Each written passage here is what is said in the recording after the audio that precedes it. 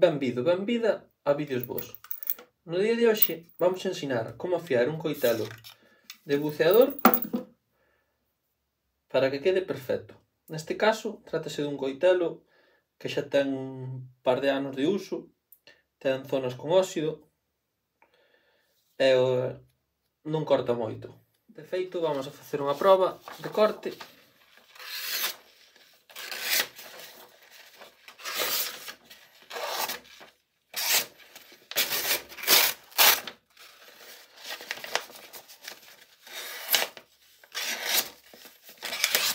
Para afiar vamos a utilizar un afiador de varias capas. Neste caso un de marca Verbe que vamos vos a deixar na descripción un enlace para mercalo.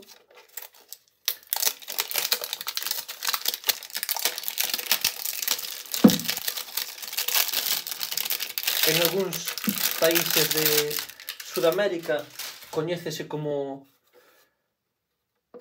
afiador de diamante.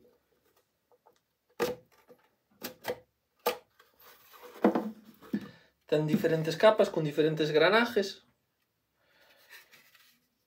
E vamos a empezar pola máis gorda, a de 600. Casualmente é a vermella, como a cor da canle. E vamos a comezar a darlle pasadas na parte gruesa.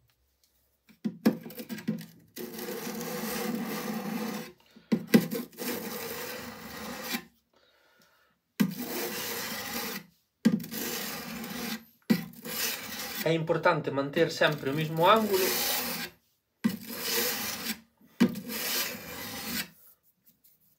como podedes ver xa con unhas poucas pasadas prácticamente lle saiu o óxido todo.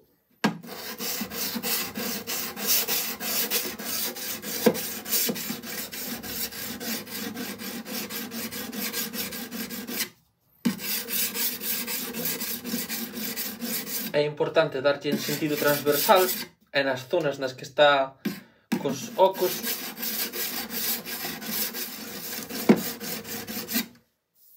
Moi ben, e unha vez temos o que é a zona lateral pasamos a darlle no que é o fío. Temos que fixar o ángulo que leva e mantelo durante todo o momento. Neste caso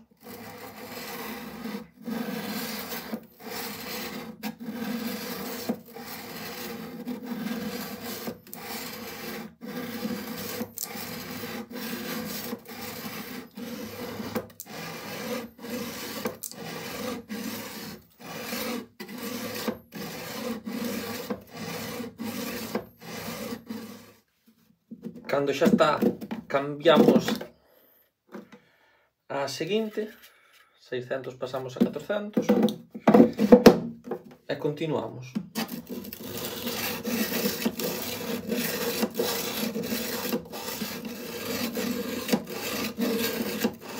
É moi importante manter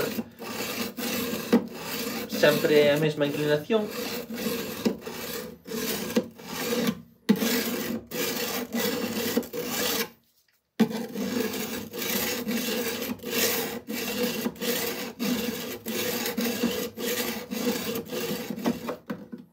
cambiamos outra vez para a de 300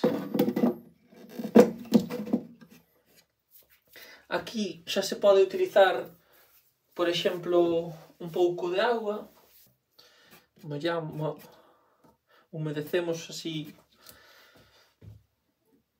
o fío e aí continuamos.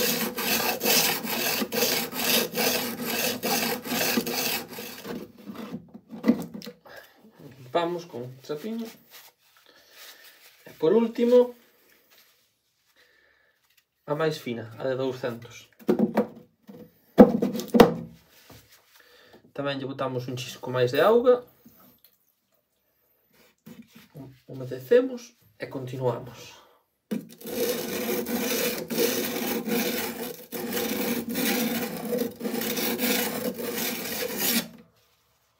Vale, limpamos os restos que pode quedar no fío, así.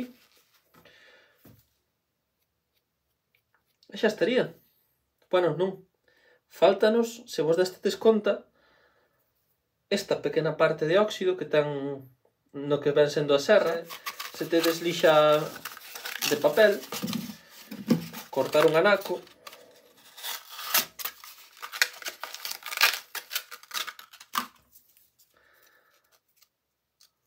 doblar. E agora sí, afiar. O propio sería utilizar unha lima redonda, pero como non teño, pois hai que improvisar.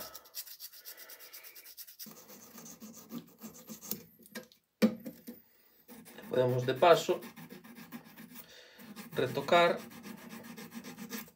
os dentes da serra.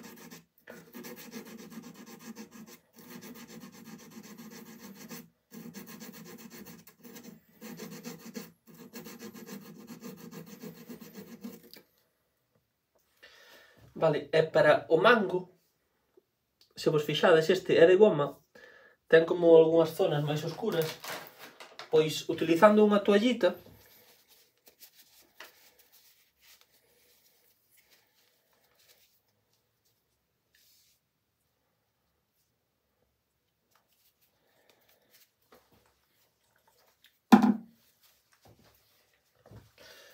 Vamos ca prova da verdade.